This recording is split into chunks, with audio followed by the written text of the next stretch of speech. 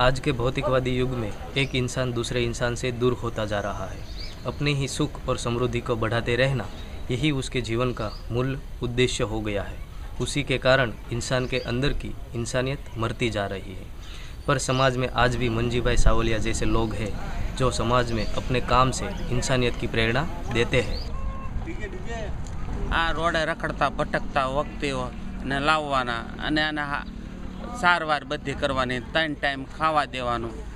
સાંજે કઢી, ખીચડી, શાક, રોટલી, અને બપોરે દાળ, ભાત, શાક, રોટલી, અને સવારે સૂકો નાસ્તો, અલગ અલગ હતો અને આ મારે ગમે હળી ગયા હોય કે ગમે રોડ ઉપર હેરાન થતા હોય, કે એને તો કોઈ આ હેનો આધાર નથી.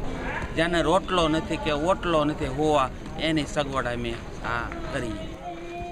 અમારે ગાડીઓ જાય. ગમે સિટીમાં રોડે રખડતા ભટકતા બધાએ ભરી લેવાના ફોન આવે તો અમારી પોલીસ ગેટે ગાડી આવી જાય અને અમે આ ભરી લઈએ. બરોબર. અને બીજું અહીંયા તમે એને નાવા ધોવાની એવું બીજું બીજું શું શું આમાં સગવડતા આપો? બપોરે અમે કા ડેલી નવરાવાના એકાત્રા કપડાં બદલાવાના ત્રણ દીએ દાઢી કરી નાખવાની અને પંદર દિવસે માથામાં ટકો કરી નાખવાનો. આ વ્યક્તિઓને લાવીએ છીએ, કોઈ ડોનેશન કે કોઈ વસ્તુ લેવામાં આવતું નથી. અમે કોઈ જગ્યાએ કોઈ ડોનેશન સારું ક્યાંય જાતા નથી અને ક્યાંય અમારી બુક ફરતી નથી. અને જે અસાશક્તિ હોય તે અહીંયા આપે તે. અને બીજા તમે એને ખવડાવીએ.